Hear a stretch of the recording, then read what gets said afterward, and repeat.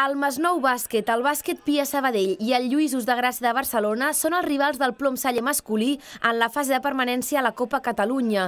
L'equip dirigit per José Leyenda va acabar la fase regular com a desè classificat amb un balanç de 9 victòries i 13 derrotes i arriba el moment decisiu de la temporada amb ganes i preparat per lluitar per la salvació. Bueno, jo crec que l'equip eh, arriba molt millor que, com, que hem finalitzat la, la, la primera fase. No?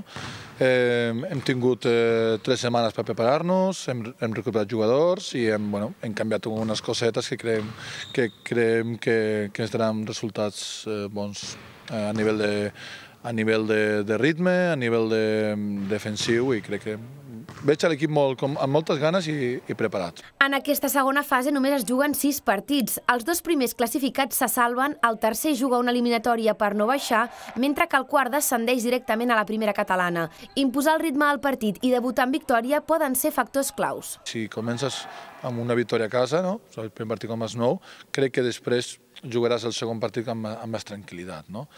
Eh, però els demás equips pensaran el mateix que nosaltres, doncs crec que eh, és important posar el nostre ritme, no? imposar el nostre ritme al, als partits. El camí per aconseguir la permanència a la Copa Catalunya per setè any consecutiu comença aquest diumenge al pavelló Joan Cirolla davant del Masnou Bàsquet a dos quarts d'una.